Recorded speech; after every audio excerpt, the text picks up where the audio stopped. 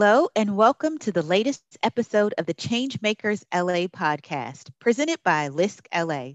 The Changemakers podcast is a tribute to the people and places that work to make Los Angeles neighborhoods good places to live, work, and play. My name is Tunua Thrash Ntuk, and I'm the executive director of the Local Initiative Support Corporation Los Angeles office. In today's episode, we'll be talking about the growing income inequality and what the affordable housing field is doing to advance equitable growth in communities. And we've got some special guests with us today. First up, I'd like to introduce Alexis Laing. She's a senior project manager at Bridge Housing. Before joining Bridge, Alexis was a project manager for Thomas Safran and Associates, where she managed the development and refinancing of affordable housing projects in LA County. Prior to that, Alexis was a municipal credit analyst for Standard & Poor's, where she provided financial and legal analysis of affordable housing and other tax-exempt bond issues. And she served as the primary credit analysis analyst for more than 10 state housing finance agencies and public housing authorities. Her work experience includes working for Skid Row Housing Trust, where she managed the development of PSH, permanent supportive housing for formerly homeless individuals. Alexis, thanks for being here today. Thank you for having me. Next up, we have Jarrett Moore, a project manager at the Coalition for Responsible Community Development. He's been in the real estate industry for the past seven years and is also a part of this year's LISC cohort of 2020 2022 Housing Development Training Institute uh, Fellows. A lifelong Southern California resident, Jarrett also brings his passion for business development, crime reduction, neighborhood beautification, and housing affordability together in a concerted effort to fend off gentrification in traditional African American neighborhoods. Great to have you here, Jarrett. Glad to be here. And finally, I'm thrilled to present Justin Davis, COO of Landspire Group. As the Chief Operating Officer, Justin brings over a decade of experience chartering multi year investment strategies that target systems and structural change. Justin is also the founder of the Wayne Group, an Oakland based real estate investment group that acquires two, three, and four unit rental properties with a priority of keeping housing accessible and affordable to teachers, nonprofit leaders, and first responders. Oh, that's great work, Justin. Thanks for being here. Thank you. Glad to be here. And I'd like to thank all of you out there for joining us uh, today in this important conversation. You see, in 2018, almost half of all renters in the United States were considered to be either moderately or severely cost burdened, which means housing costs exceeded 30% of the family income. The COVID 19 crisis has highlighted and exacerbated the growing income inequality that has left millions of households behind. Specifically, income inequality between Black and white households has worsened. Although the median incomes of both Black and white households grew in the last decade, Black household incomes rose more slowly. The median income for Black households in 2019 was 43,200, roughly 60% of that of the white households and the lowest of all other racial groups. Black renters were twice as likely as white renters to be behind on rental payments and twice as likely to report being at risk of eviction. For today, let's discuss what can be done to make affordable housing more available and creative ways professionals in the field are approaching this subject and this complex issue in a holistic way. Jarrett, we're going to start with you. CRCD is doing a myriad of programming in the community. How are you all looking at holistically focusing on housing instability to make sure we create more stable options for people in South Los Angeles? So uh, the, the, the key word in that question to me is holistic. I think there's been a deepening and uh, enriching of the understanding that when we're housing people that have housing instability, it has to be a complete and comprehensive process because you have to work on the person as well as the process. And so the way CRCD has approached this, our entire business model is actually surrounded that particular idea. So what we have at CRCD, we have four departments. We have a workforce center that's about employment empowerment. We have a housing a development department that is about case management and, and, and getting people off the streets. We have a youth department that's about bringing up and empowering young people. And obviously the real estate department where we actually do the nuts and bolts of, of, of creating buildings. And what we do is we have wraparound services that integrate all of those particular fields into our clientele, into the community. So we focus on the location, which is South Central, and we're very specific about how we approach South Central's needs. And then we're very specific about the things that people in this area and community are doing to make housing unaffordable for them. So we're trying to really address the actual human needs of the people. And that, that's essentially it. We even have a financial coaching uh, supported by LISC, uh, where we also work on income instability as well. So we don't just look at it like, hey, here's this apartment, move in there, you're good to go. No, we work on career stability, income stability, and mental stability as well. Thanks for that. And Jarrett, what I heard in there is that you're putting the person first uh, in order to be able to have an impact on the community. And you repeated it several times. I mean, this holistic approach is really critical. Not only are we looking at making sure that people are stably housed, but we've got to make sure that they have the financial resources, the work, the career, the ability to be able to sustain that. Um, and people can't see you, but you know, you pointed to the mind. So making sure that the the heart and head are healthy and are able to to thrive as well. So, Justin, I want to get you in on this conversation. What does equitable growth in communities look like for you? I mean, you all are private developers. Um, how is Landspire Group working to make this happen, creating equitable growth in communities? Thank you. That's a great question. And it starts with our, our mantra, which is development without displacement. We believe that we can create new housing opportunities without displacing or changing the fabric of the of the culture within any particular community. And with that is sort of just recognizing that with any sort of development or project or change that's happening with the community, there's going to be a influx and outflux of capital. Uh, our priority is making sure when any project that we do, that we are building something that's not going to allow for the outflux of capital. We don't want capital to leave the community. We want it to stay there.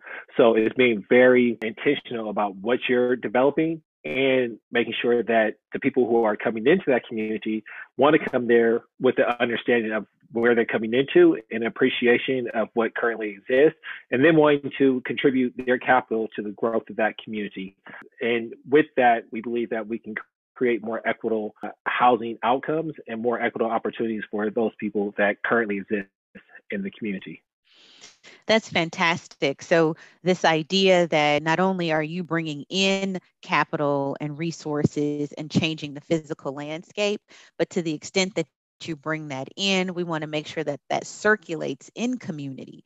So the jobs, the contracts for small businesses, all of that to the extent that it can, the goal is to keep that in community so that that equitable growth opportunity can take place. It isn't an extraction of resources, it's something that you're bringing in. That's super exciting.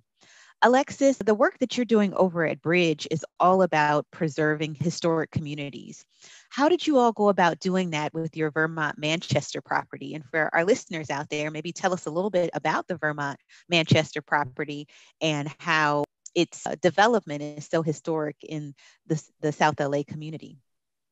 Sure. So Bridge Housing has been around 30 plus years with the goal of providing quality, affordable housing we are involved with the Vermont Manchester Project um, with CRCD and Primestor Development, which is a local commercial developer, and it's redeveloping a part of a site that's been mostly vacant since the 1990s civil unrest, Rodney King riots, that time period. The county and Mark Ridley-Thomas, as a former board supervisor, got together. They gathered the land and they were separating it into two separate projects. There is a public boarding school that'll be run by the Seed Foundation, which will provide a, a school setting for residents in the community. And then we're building 180 units of affordable housing. There's about 60,000 square feet of retail, including a neighborhood serving grocery area, a 15,000 square foot metro training center, and, and a transit plaza. Vermont is the second busiest line for the metro system.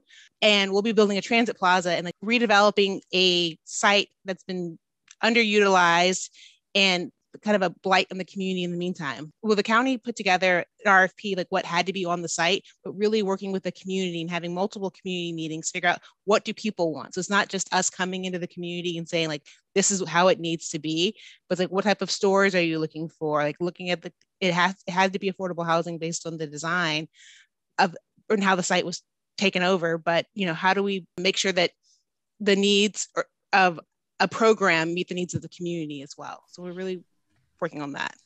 That's critical. Jarrett, it looks like you wanted to get in there because Alexis, this whole question was about how do you preserve communities? And a critical piece of that includes having the community be part of determining what goes on the site. Jarrett, you agree with that? Oh, completely. There's always going to be this push and pull. It's, and I think Justin spoke to it earlier about influx and outflux, where it, there's this strange relationship between beautifying the community, bringing amenities into the community, and then now all of a sudden values are going up. And then those residents that help beautify, that help build that community are now out. And I think Vermont Manchester project is really at the crux of that. This is like a living social experiment.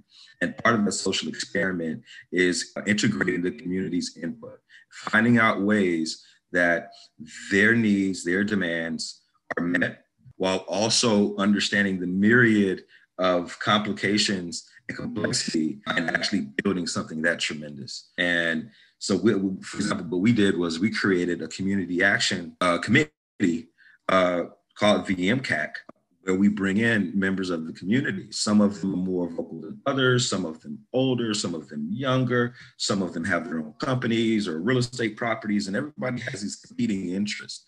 And so it's really a fantastic blend and a, and a challenge for us to sort of make sure that we can beautify, we can build up the community, but also preserve affordability.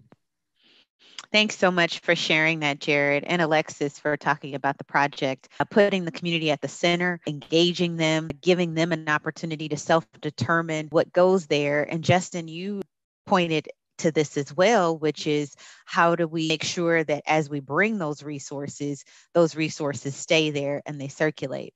So, Justin, you know, our other colleagues on the line are with nonprofits. They are nonprofit affordable housing developers and holistic community developers. But you know, your organization is a for-profit development company. And what do you think might be needed to try and attract more for-profit developers to help create more affordable housing and to make sure that it stays affordable? There's such a huge need for it. It's great we've got nonprofits. People know that I'm definitely behind that, but there is a space as well for for-profit developers. That's right. And and I think you have to be mindful of all the different players that are involved right? You have folks like myself, a for-profit developer. We have, you know, the CRCDs of the world. We have the LISC of the world. I think we all have different objectives, but we have to find where those objectives align. And I think for many of us on this call, it's understanding if there's an issue, right? And we're trying to address the issue most for-profit developers, I don't think they look through that lens of seeing that there's a problem. They want to just address the problem. That's where Landspire, our vantage point is first. We recognize the problem, but then we also recognize that, or where we're very acutely aware of the opportunity, right? From being able to leverage the tax breaks, leverage the different partnerships, and know that there's a return to be made at the end of this.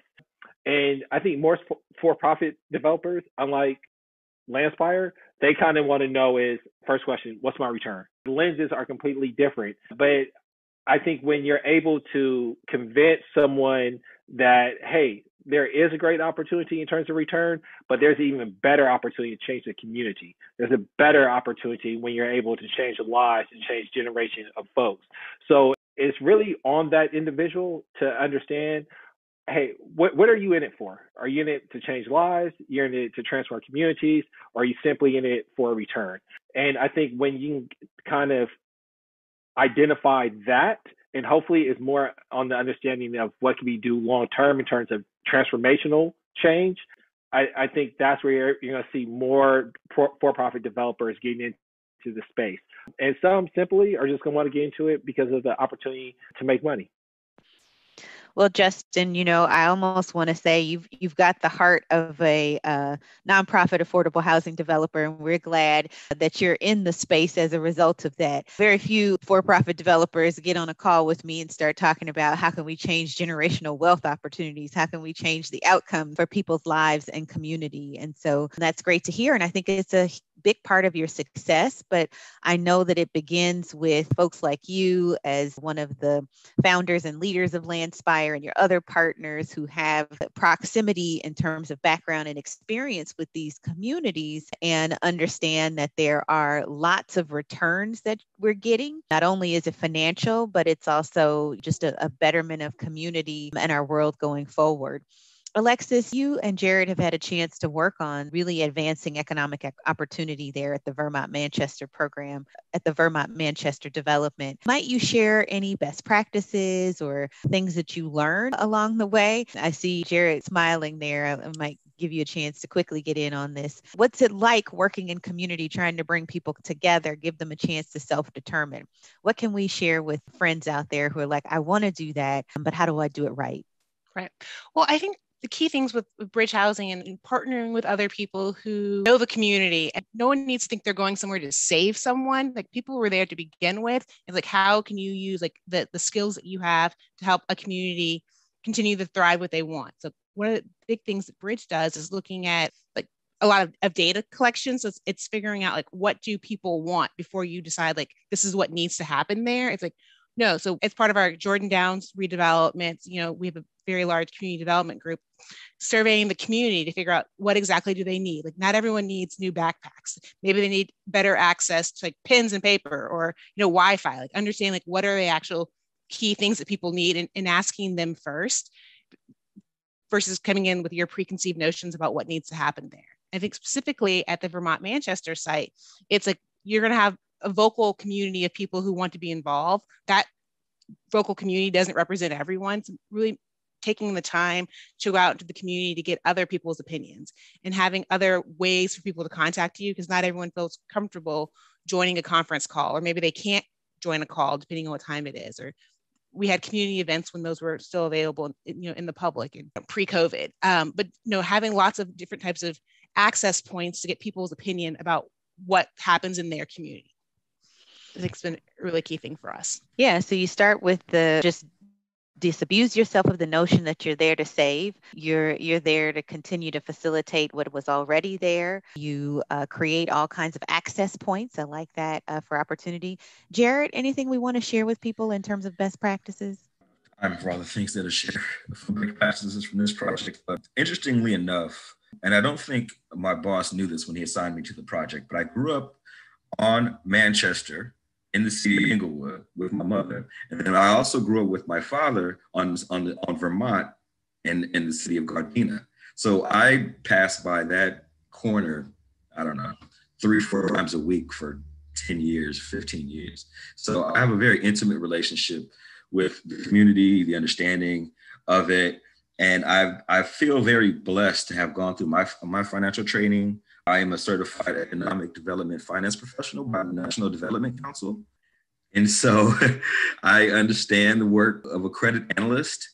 And so what I've always done is, I think what Alexis's point was about listening to the community, absorbing that in, input and applying it as best possible. What I've done as a member of the community and as a credit analyst is to say, okay, you guys, I know you guys went to sun, the moon, and the stars on the corner of Vermont and Manchester, but this is how it really works. Okay, you know, so a company, they, for example, they want a Trader Joe's there, right?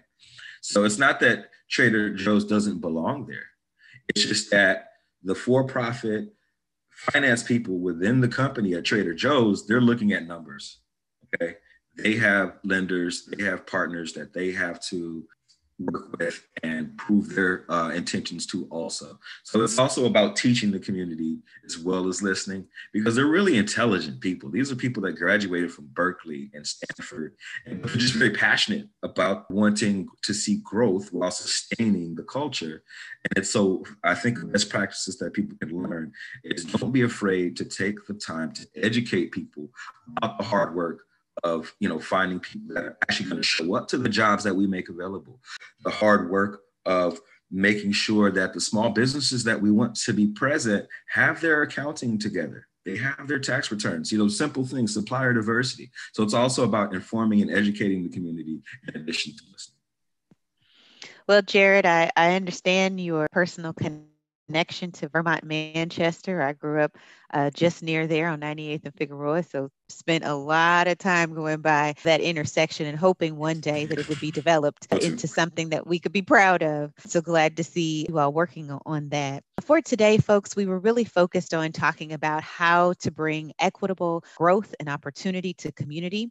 We were joined today by three professionals, one in the private sector focused on making sure that affordable housing not only uh, provides a valuable return, but is also something that provides a valuable return to community and to individuals and to circulate and make sure that resources stay in community. And we had the pleasure of being able to hear from two other colleagues, both Alexis and Jarrett, who talked about their project at Vermont Manchester and how that project is a testament to being able to do equitable development opportunities. I want to mm-hmm. thank Justin, Jarrett, and Alexis for joining me in this conversation. Your insights, I imagine, will be invaluable to the community development space as we continue to try and figure out how do we respond to the income and wealth inequality in Los Angeles. Thanks for joining me today. Thank you. This episode of Changemakers LA was made possible by our partner Citigroup Inc. LISC LA is committed to working with community groups and developers dedicated to preservation and development of affordable housing and sustaining housing projects in the region. We provide a variety of flexible housing lending products designed to help local groups bring development projects to fruition with loans and funds covering every phase of development from pre development to permanent financing. If you'd like to learn more, please visit us online at www.lisc.org backslash Los Angeles and follow us on Twitter at LISC, L-I-S-C underscore LA. You can find the rest of the series on Apple Podcasts, Spotify, and Google Podcasts. Subscribe to hear more conversations about the people and places that shape Los Angeles.